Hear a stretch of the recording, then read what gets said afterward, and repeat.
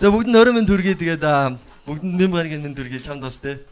Би дугуй ундаг л та. Та нар дугуй ундаг уу? Тийм би дугуй ундаг. Дугуй бол амар смарттай ингээд төгсөхгүй явцдаг шүү дээ те. Тэгээд Улаанбаатарт болохоор ингээд те машин зам дээр дугуй дугуй унахаар ингээд нэг дээр машинтан дээрлчих га те. Явгон зам явгооны зам дээр болохоор явгон дээрчих гадаг шүү дээ дугуйтай. Тэгээ би саяхан урт цагааны нэгөр нэг ингээд дугуйтаа гуруудсан нэг юм харьяартай ах намайг бүр амар мөрөгдөг байхгүй би дугуйтаа ингээд унцсан зөө бүр ингээд газар ингээд тэг нэг ах чинь гарч Яа ахын дэ чи үхсэн үү гэдэг байхгүй. Би ингээд дээш харцсан би өөхөөгүйсэн зөө. Ингээд Тэгсэн чи хойноос нэг ихч гарч ирсэн ээ. Би чам машин аваад хэрэггүй гэж хэлээ үсттэй. Одоо наадах чи яах юм гэж би стил ингээ хөвтөө. Туслаач ээ. Аа нэ. Гэтэ дуудлагын шалгаач гэснээс би бас ингээ сүүлийн үед ингээ бас ягаад тийм дуудлагаар комеди хийж болохгүй гэж энэ угаасаа л Улаанбаатар амар стресстэй те. Нэг залуу ингээ нэг ах яриа л те. Байна уу инки юу гэл те. Ах нэг төвний гүүрэн дээр байна те. Тэгэл би үнэ хэлээ л те. Аха минут 15 минутын 50-аар ярина комеди гэл.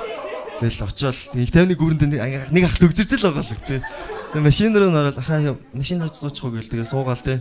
Тэгээ сууж байгаа л тэг эртээд нэг ингээд дугуй унж яваад маад гэл зинэттэй мэрж игэл те. Тэгэл нөгөө маа Монгол ах нар чи аим фан штэ. Тэгэл би ингээд 50к авлахтаа болсон чи намайг буцаж инээлгээл те. Тэснэ хин хиндээ өргөөс алж маллаа те. Сүүлдээ би ингээд илүү ингээд инээж минийгээ өрөнд орош ахын дөө 50 авъя гэдсэн. Ха мөнгө авахгүй. Те. Тэгээд тэрийг л хэлэх гэсэн. За за тэгээд баярлаа. Энки байлаа намайг зорж ирж үзсэн.